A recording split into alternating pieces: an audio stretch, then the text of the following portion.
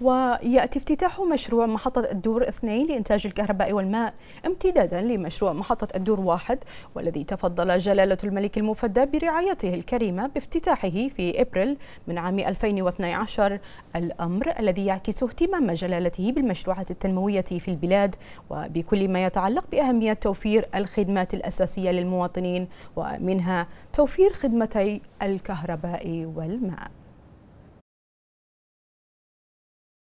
إننا ماضون معا في طريق التطوير في مختلف المجالات الاقتصادية والسياسية والصناعية من أجل رقي وطننا العزيز ومواطنيه.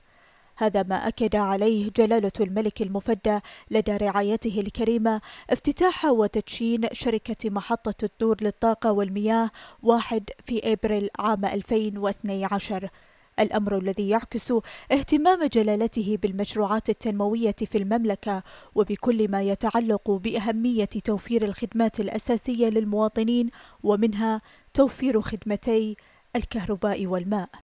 وبفضل الرؤية الثاقبة لجلالة الملك المفدى شهد هذا القطاع الهام الذي يشكل عصب الحياة نقلة نوعية كبيرة تواكب متطلبات الحاضر الزاهر والمستقبل المضيء والمرحلة المقبلة من مراحل العمل الوطني.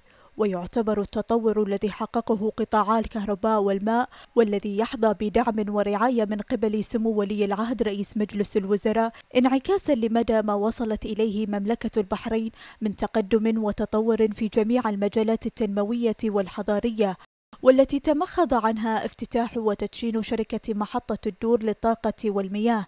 ليأتي اليوم مشروع محطة الدور اثنان ليكون امتدادا لمشروع محطة الدور واحد. ولطالما أكد جلالة الملك المفدى حرص البحرين الدائم على تشجيع إقامة المشاريع الاستثمارية الكبيرة بالكوادر والكفاءات البحرينية بما يخدم ويعزز مسيرة التنمية الشاملة التي تشهدها المملكة وتشييد الصروح التنموية والحضارية.